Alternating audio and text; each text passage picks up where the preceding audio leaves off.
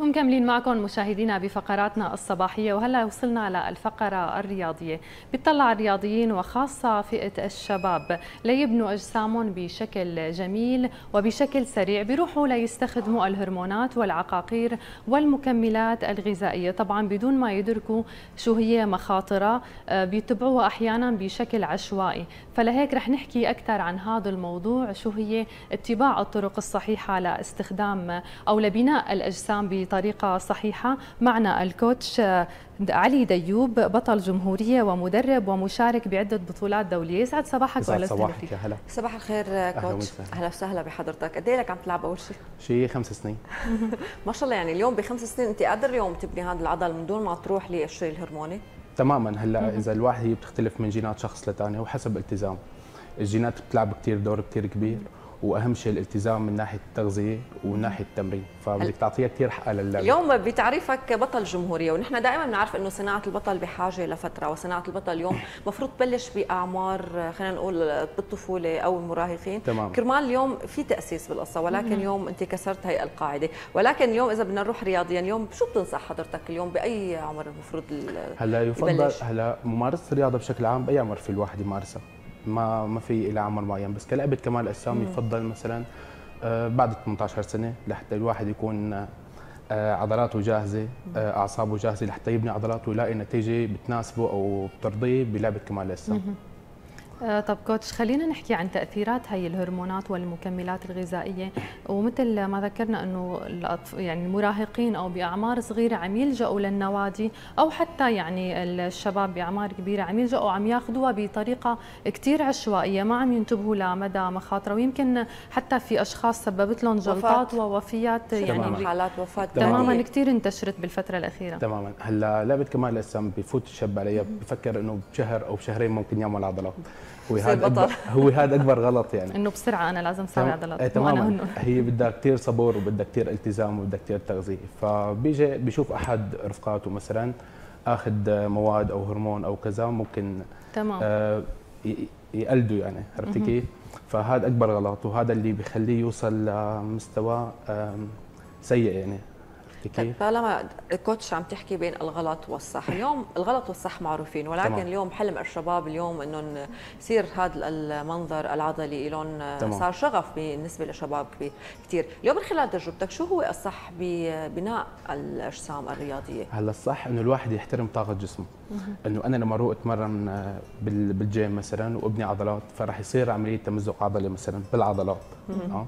نحن لما نصير هي العملية بنروح على البيت بنتغذى صح بننام صح بنرتاح صح هون بصير في عملية ترميم لهذا التمزق وبصير في بناء عضلات. تمام. فأهم شيء الواحد يحترم طاقته على قد ما بيتمرن يتغذى مو هو بفكر بناء العضلات رح يصير بالجيم. بشيل الأوزان. هو هذا أكبر غلط. تمام. بناء العضلات بصير بالبيت بالراحة وبالأكل فقط. لا. تمام. شو الأكثر ممكن إنه يستخدموها هلأ بيروحوا للبروتين حتى بنشوف هي علب البروتين تمام. البودرة. كمان هي ضارة مثل ما ذكرنا. شو هي الشغلات اللي ممكن الرياضي يبني جسمه مع التمارين؟ أكلات خلينا نحكي عن الأكل الصحي تمام. اللي ممكن يلجأ له.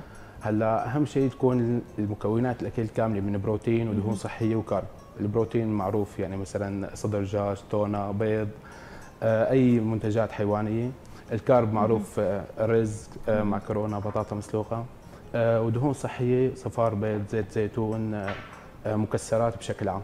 فنحن لازم تكون وجبتنا كاملة متكاملة من كل هي الوجبات من بروتين وكارب ودهون صحية لحتى يصير في بناء فينا نقول المكملات الغذائية أو الهرمونات اللي عم ياخذوها هي بتكون أرخص كمان مو بس أسرع حتى بيلجؤوا لها؟ هلأ أول شغلة ما فينا نحن نقارن المكملات الغذائية بالهرمونات. المكملات الغذائية بيحتاجها لعب كمال الاجسام لأن أحيانا في عالم ما بتكون آه، قادرة تكمل. بس لها طريقة معينة طبعا هلأ هي حسب احتياجه الجسم. ما في ياخذ كمية كبيرة منها بتضر وبنفس الوقت مثلا أنا بحاجة مثلا نفترض 150 جرام من البروتين باليوم ماني قادر أحصله من الأكل ممكن التجي للمكملات الغذائية.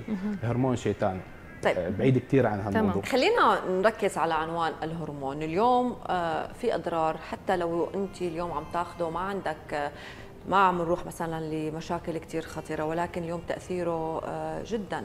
سيء إذا ما كان بنسب معتدلة إذا تمام. ما كان ب آه، مثل ما قلت نحترم طاقة أجسامنا تمام. والنسبة اللي المفروض نحن ناخذها يعني ما نروح نحن ناخذ أكثر ننفش أكثر يعني تمام. شو أهم اليوم الأخطار اللي ممكن يصل لها الشخص بالهرمونات هلا يعني أكبر غلط ممكن الواحد يوصل له بالهرمونات آه، هلا في كثير عالم تختلف هي من جسم لثاني حسب آه، جينات طبيعة ال- الجسم. تماما في عالم مثلا ممكن يطلع لها كثير حب بجسمها ينتشر الحب بجسمها. ممكن يصيبها ضعف مثل قريب أو كذا أو كثير ضعف مناعة يعني.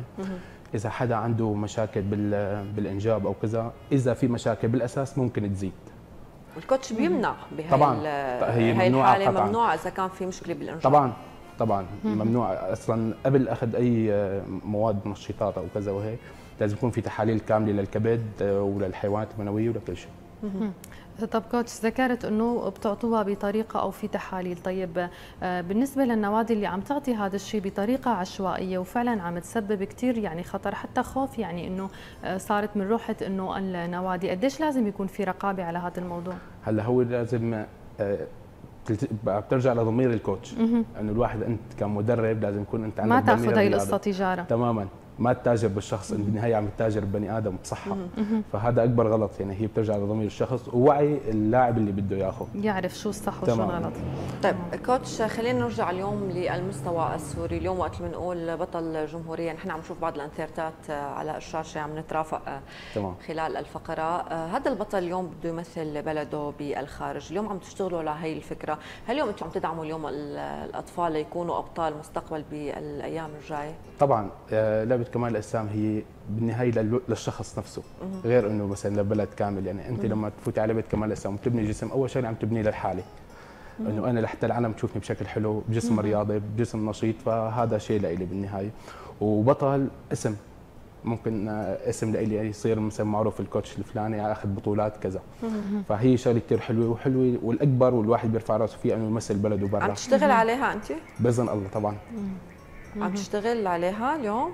يعني اليوم في هيك حدا مؤسس عندك اليوم فينا نقول إنه هو مشروع بطل فيما طبعا بعد؟ كثير عندي من اللاعبين هلأ حاليا جاهزين لحتى السنة الجاية يفوتوا بطولات بإذن الله طب شو هو العمر المناسب كوتش لبناء الجسم؟ خلينا نقول لأنه كثير مثلا أهالي بيقولوا ببلش بال 12 13 سنة إنه بده يلعب حديد أو يبني جسمه بيقولوا له لسه بكير بيأثر على نموك هل هذا الشيء صحيح؟ لا بالعكس. هاي لعبه كمال الأجسام بتساعده للنمو الزايد لأن هي بترفع هرمون النمو عند البني عند الشخص برفع الأوزان وكذا. بس أنا بفضل قلت لعبة الحديد كلعبه حديد خصنص لحتى الواحد يرفع لحتى يبني فيه عضلات ويصير عنده عضلات ونتيجة مرضية شو هو. العمر الأنسب؟ فوق 18 فوق 18 وما 18. فوق. إيه لحتى يلاقي نتيجة ترضيه يعني ويصير عنده جسم. طيب كوتش نحن ما بدنا نفوت بموضوع ال- الدعم اليوم لحتى أنت تقدر تصنع بطل اليوم بحاجة لدعم كثير كبير يعني. ونحن بنعرف الوضع الرياضي عندنا بالبلد. فما بدنا ندخل بهدول التفاصيل. خلي اليوم الدعم منكم بشكل شخصي يعني نحن بنعرف اليوم أي سفر أي تمثيل آه، دولي خارج سوريا اليوم أنتم بحاجة ماديا كثير يعني لحتى تقدروا تمثلوا بشكل صح. هي ممكن تكون أحد الصعوبات. إذا رحنا هيك بشكل سريع لأهم الصعوبات اللي ممكن تترافق معكم بمسيرتكم. هلا مس- مسيرة تجهيز البطولة آه، هي مكلفة كثير كثير مكلفة وحالة نفسية صعبة. فأنت بتمر بنظام حميه كثير قاسي من ناحية الأكل والشرب فأنت بدك تكوني دقيقة بكل وجباتك بكل أكلك بكل شربك. فهذا شيء شوي صعب. نفسيا الواحد بتغير تعامله مع أقرب الناس له آه، كنفسيا. تمام. بتحسيه بعيد عن كل العالم عرفتي كيف؟ فهي فترة كثير صعبة وكثير حلوة بنفس الوقت. أكيد. إنه بس الواحد طلع ولقى نتيجة حلوة ترضيه وكذا وهيك فهو رح ينسى كل شيء. أكيد يعني بدنا نتمنى التوفيق للكل ولكل اللي حابب آه، يبني جسمه بطريقة صحيحة وسليمة وأكيد ينتبه للأمور اللي بتضره.